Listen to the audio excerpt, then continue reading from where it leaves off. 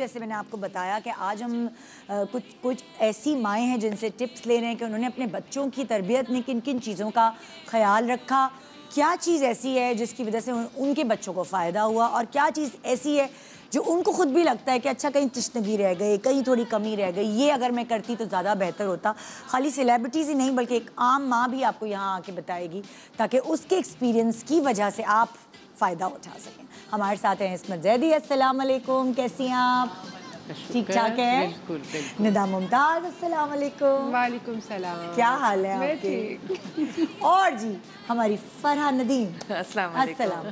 जी कैसी हैं आप? अल्लाह का शुक्र बिल्कुल ठाक है? बिल्कुल ठीक है। सो ये तीनों वो सेलिब्रिटीज़ हैं जो ड्रामों में भी आपको माएँ नज़र आती हैं सासें नज़र आती हाँ। हैं और ज़ाहिर है एक्चुअल ज़िंदगी में भी वो इस इन फ़राइज़ को अंजाम दे चुकी है और बाखूबी अभी तक निभा रही हैं माशाल्लाह। सो so, हमें आपसे कुछ टिप्स चाहिए जो माएँ हैं जो बड़ी पर्टिकुलर होती है अपने बच्चों की तरबियत को लेकर। अगर मैं आप तीनों से पूछती हूँ कुछ माएँ होती हैं बड़ी फंसी होती हैं बच्चे को खिलाना पिलाना क्या है बच्चे को कौन से स्कूल भेजना है और कुछ माएँ बड़ी चिल होती हैं कि go with the flow so आप का शुमार किन माओं में होता है? आपसे अगर मैं शुरू करूँ। भाई मेरा तो दूसरी कैटेगरी में होता है। मैंने कभी बहुत ज़्यादा अपने ऊपर सवार नहीं किया चीज़ों अच्छा। को। और मैं ये समझती हूँ कि बच्चे जो होते हैं वो सबसे ज़्यादा उन्हें एक रोल मॉडल चाहिए होता है वो देख के अपने माँ बाप को चीज़ें सीखते हैं। हाँ। कहने से ज़्यादा। वैसे तो हर बच्चे की अपनी फितरत होती है।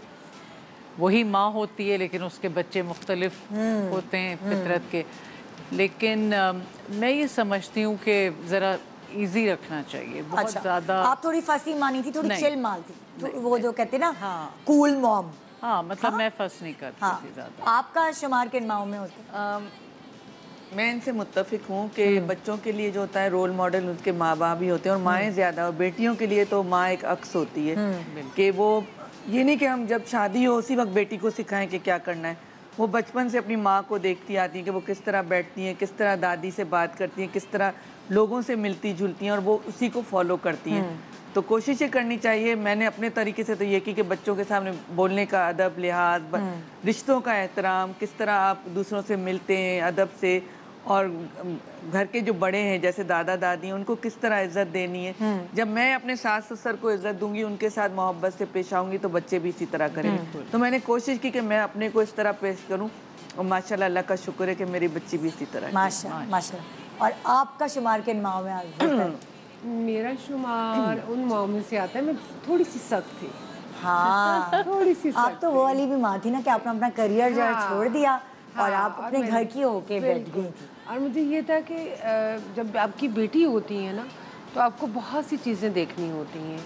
क्योंकि वो शायद हम लोगों ने बहुत क्लोजली खुद से देखा हुआ होता है तो हम नहीं चाहते कि जब हमारे बच्चे हों तो वो उस प्रोसेस से गुजरे। तो इसीलिए फिर मैंने काम भी छोड़ दिया था ताकि मैं उनको फुल टाइम दूँ हाँ। घर में। हाँ। और मेरी कोशिश होती थी कि मैं अपने बच्चों को आज भी मैं जब वो होते हैं तो मैं उनके लिए खुद खाना बनाती हूँ। उनको खुद से देती हूँ ताकि उनमें हमारी एक थोड़ी सी क्लोजनेस रहे। हाँ। उनको भी एहसास हो कि माँ भी आपके लिए एफर्ट कर रही है तो आपको भी करना है। हाँ हाँ। तो उससे मुझे लगता है कि बच्चों के साथ आपकी मोहब्बत रहती है। यानी कि अगर आप कहें हाँ। खाने जब बच्चे बड़े हो जाते हैं सो कनेक्शन उनसे बना के रखना ज़रूरी है। तो वो आपने खाने के थ्रू रखा। खाने के कि हाँ। थ्रू प्लस मैं कोशिश करती हूँ अब जैसे मैं काम करती हूँ जब मैं जब काम से वापस आती हूँ तो अगर बच्चे आए हुए होते हैं मेरे तो खैर अब दोनों बाहर होते हैं तो बेटी की शादी हो गई है लेकिन मेरी कोशिश होती है कि जब बेटी भी संडे को होती है तो आती है तो मैं उसके साथ टाइम कोई और काम नहीं। और कोई काम हाँ, नहीं रखूँ सिर्फ़ उसके साथ स्पेंड करूँ। हाँ।